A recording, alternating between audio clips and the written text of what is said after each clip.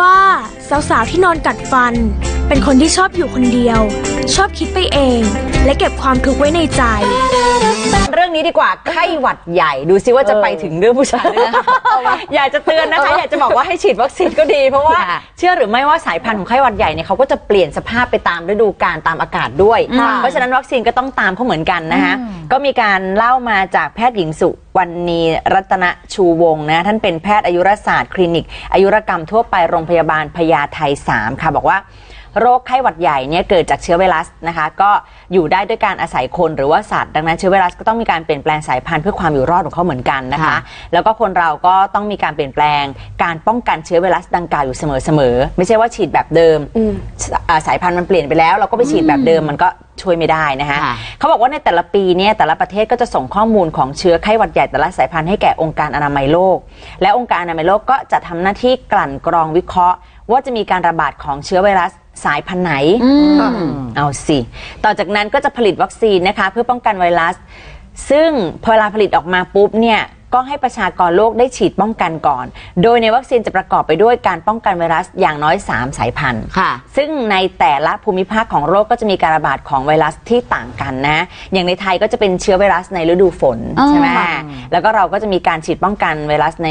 ฤดูฝนเนี่ยแบบเดียวกับทางขั้วโลกใต้ค่ะนะคะ ทีนี้เมื่อมีการติดเชื้อไวรัสไข้หวัดใหญ่แล้วเนี่ยต้องมีการรักษานานหรือว่าพักนานบางคนบ่นเคยได้ยินไหมว่าเดี๋ยวนี้เป็นหวัดทีนึงนานกว่าจะหายมากใช่ใช่ไหมสองคะอาทิตย์สามซึ่งอันเนี้ยน่ากลัวตรงที่ว่ามันเสี่ยงต่อการติดเชื้อปอดอักเสบด้วย แล้วเชื่อหรือไม่ว่าบางรายเนี่ยถึงขั้นเสียชีวิตเลยนะคะ เช่นเดียวกับโรคไข้หวัดใหญ่ 2009 ที่ระบาดนะฮะเพราะฉะนั้นพวกเราก็ควรจะให้ความสำคัญกับการฉีดวัคซีนด้วยนะคะ ฉีดได้ตั้งแต่เมื่อไหร่ตั้งแต่สัก 6 เดือนขึ้นไปเลยนะคะเอ่อ จนถึงผู้สูงอายุ แล้วก็คนที่เป็นกลุ่มเสี่ยงนะคะอย่างเช่นพวกเป็นโรคเบาหวานความดันหัวใจปอดโรคไตโรคเลือดบางอย่าง เวลาติดเชื้อก็จะรุนแรง แล้วก็เป็นปอดอักเสบง่ายกว่านะคะอ่ารวมไปถึงคนที่เป็นภูมิคุ้มกันบกพร่องด้วยนะคะคุณหมอ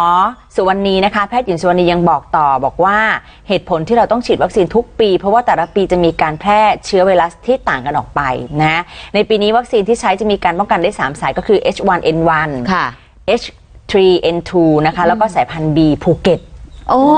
เท่ไหมเดี๋ยวนี้นางระบุจังหวัดแล้วจ้าเนสายพันธุ์นะจ๊ะเออเอาสิแล้วก็การฉีดวัคซีนแต่ละครั้งก็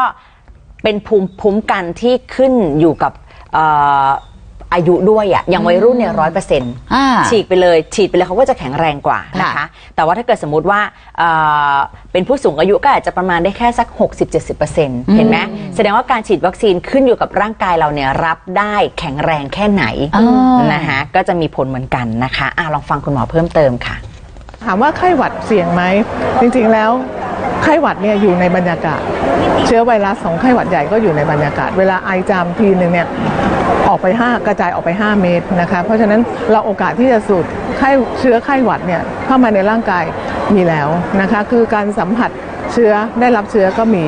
อันที่สำคัญก็คือกินร้อนช้อนกลางเราทราบอยู่แล้ว ส่วนที่สำคัญจริงๆอีกทีหนึงคือภูมิคุ้มกันเราเอง ซึ่งภูมิคุ้มกันเราเองจะสร้างได้เนี่ยด้วยตัวเราเอง โดยการนอนหลับให้พอกินน้ำให้พอนะคะ แล้วก็กินอาหารให้พอนี่คือภูมิคุ้มกันที่เรามีอยู่ในชีวิตประจำวัน แล้วก็ อันที่สำคัญอีกอันหนึ่งก็คือเรื่องของการฉีดยาป้องกัน ให้กระตุ้นภูมิให้เตรียมพร้อมเวลาที่เชื้อมา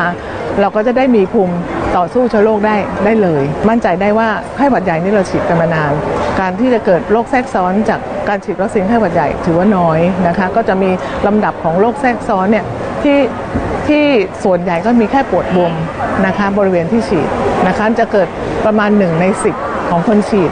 ถ้ารุนแรงก็อาจจะหนึ่งในพันที่มีชาหรือว่ามีคลื่นไส้อาเจียนนะคะ แต่หนึ่งในล้านที่จะเกิดคือแรงบาเล่ที่เรากลัวกันนะว่าเป็นโรคของที่กล้ามเนื้ออ่อนแรงขาสันหลังนะก็น้อยมากนะคะ ในอเมริกานี่เขาจะฉีดตามห้างสรรพสินค้าตามร้านค้าทั่วไปด้วยซ้ำไป แต่ในประเทศไทยส่วนใหญ่เราก็ยังฉีดตามสถานพยาบาลนะคะ ขอบคุณอีกครั้งหนึ่งนะคะแพทย์หญิงสุวรรณีรัตนาชูวงศ์นะแพทย์อายุอายุรศาสตร์คลินิกอายุรกรรมทั่วไปโรงพยาบาลพญาไทสามค่ะ ค่ะ พูดเหมือนคนแบบ คือไม่ได้นอนไง ลิ้นก็จะชาพูดมาพูดมานี่ถูกต้องเลยเหรค่ะอทำไมเพราะว่าอะช่วงหน้าเราจะคุยกันถึงเรื่องของการนอนหลับจริงป่ะนอนไม่พอส่งผลเสียยังไงค่ะนอนเพียงพอส่งผลดีอย่างไร แล้วถ้านอนไม่หลับจะต้องทำยังไง เดี๋ยวคุณหมอมาบอกสักครู่เดียวค่ะทำตัวเข้ากับรายการเหมือนลูกขอบอกว่าสาวๆที่นอนคลุมโปง เป็นคนที่ขี้อาย จิตใจอ่อนแอ